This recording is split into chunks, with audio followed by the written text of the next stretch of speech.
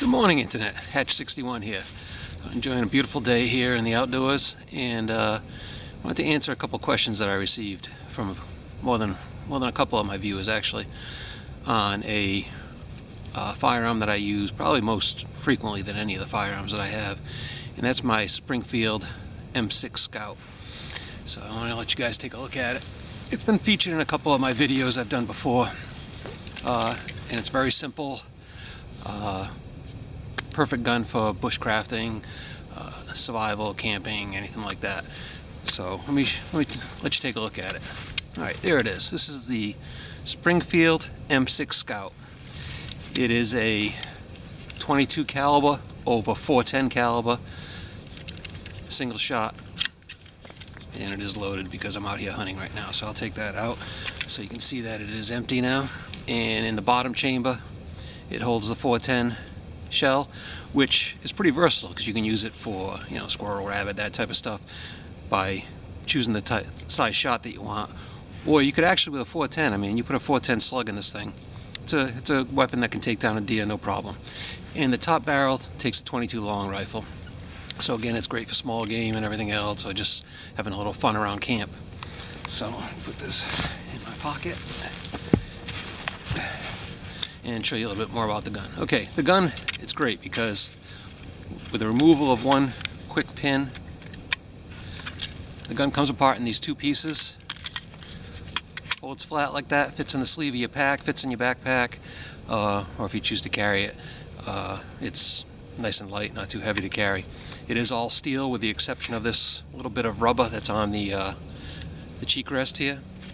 And it's a great gun. The only flaw that it has is you don't lose the pin. If you want a person that loses stuff that you can't really keep stuff secure, don't take the gun apart. Just keep it folded and uh, you'll be just fine. So put the pin back in. Have to close the gun and to open the gun there's a latch right here. You just simply close the gun. To open it you push up on that latch and it opens up. Uh, it has this interesting trigger unlike any other trigger. It's more of a lever and it was great because it works with mittens. You can put your whole hand in there and use the whole hand to pull the trigger. Or you could just use a you know a finger or whatever just like you'd pull a standard trigger. So that's pretty simple. The uh,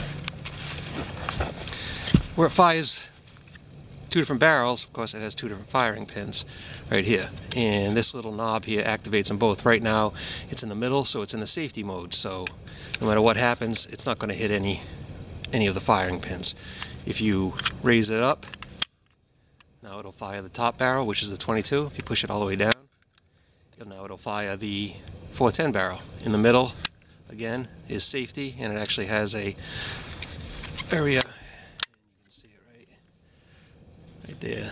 That's the safety mode, and you have to turn it to take it out. So, I mean, it's a safe gun just by the nature and design of it, uh, let alone uh, the additional safety that it, they provide.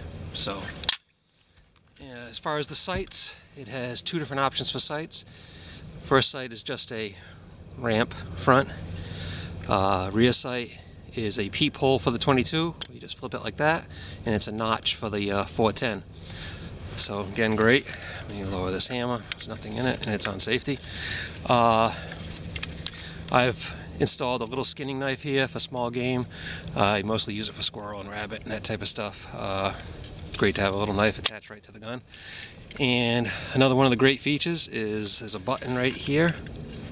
Okay, so I push that button, pop it up, and you've got room for ammo storage. 22s, 410s. I got one of the 410s out already. There it is right here. They simply slide right in. And what I usually carry is I usually carry a couple shot. This is number six, and got some seven and a half, and then I carry a couple slugs. So pretty much ready to take any kind of game you want. Uh, I chose to put a sling on it. It comes with a uh, swivel mounting point right there on the front of it, and on the back uh, has a regular swivel point also. I've chosen to uh, wrap the barrel in paracord. It's uh, does a couple things. First, it gives you it's probably about 70 feet of paracord in this thing, but uh, It also gives you a nice place to hold on to because it is just a bare barrel. There's no forend grip or anything like that. So pretty much that's it. It's a very simple gun. It's a great little gun. Uh, you throw it on your back, you don't even know you have it. Again, this is the Springfield M6 Scout. In my opinion, the best gun they ever discontinued. So this is Hatch 61. Thanks for coming along and keeping me company out here on this fun little squirrel hunt. I appreciate it, and I hope you folks have a great day. Keep warm. Bye-bye.